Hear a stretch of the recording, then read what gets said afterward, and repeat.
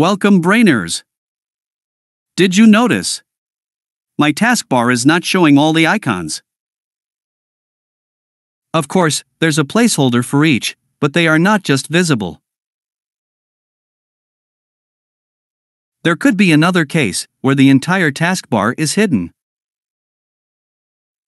If you're facing any such issues, you've landed at the right place, let's go ahead and fix it. Solution 1 Quick Fixes Let's start with the case where you see the taskbar, but some or all the icons are missing. Please go ahead and right click on Start. Select Task Manager. Ensure you are on the Processes tab. Look for a process named Windows Explorer. Sometimes it's easily available here, but for others on a different view, you have to scroll down till the end to locate Windows Explorer. Please right click and choose Restart. Now your screen turns off for a few seconds and comes back automatically. Boo! It has fixed my issue. In some rare cases, the issue may repeat, especially after a restart. In that case, please follow the other solutions in this video.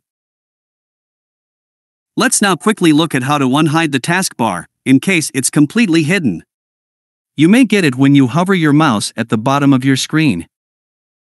In case you want to disable this auto hiding, please press Windows key and I together.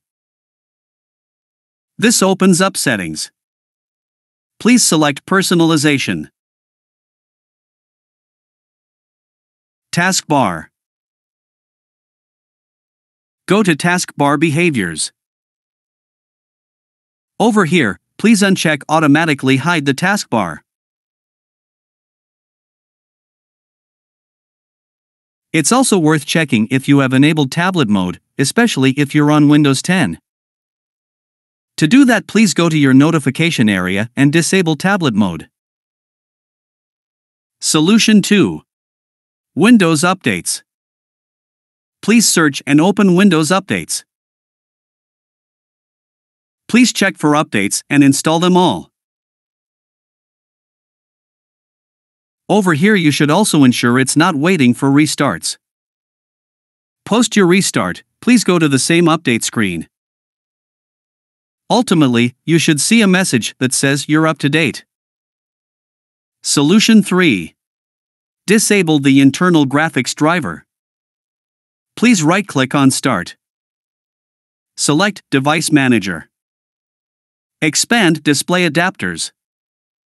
Over here please check if you have multiple graphics drivers. If you have only one, please skip this solution. I have two, one for my Intel internal graphics card, and another for the dedicated NVIDIA graphics card. If you have something similar to this, please go ahead and try disabling the internal graphics driver. Restart the PC and see if it has been fixed. Please remember to enable it back if this has not fixed your issue. Solution 4. Please update graphics drivers. This issue is related to your graphics card, so it's wise to update it or ensure it's up to date. There are several methods with which you can update your driver. I have given this link in the description, please refer to this to know what are the best ways to update your drivers. Solution 5 System Restore. If you have started getting it recently, then System Restore can help fix it. Please search and open Create a Restore Point. Ensure that you are in the System Protection tab. Select System Restore. Click Next. Please choose a recent and appropriate restore point from the list. From here please follow your on-screen instructions and complete the restore process. Please note, it may take more time to restore your PC, so please be prepared. Also your PC is expected to restart automatically as part of this restore process. The solutions that we've seen so far should work for most cases, but if your issue is so stubborn, then you should try these additional solutions.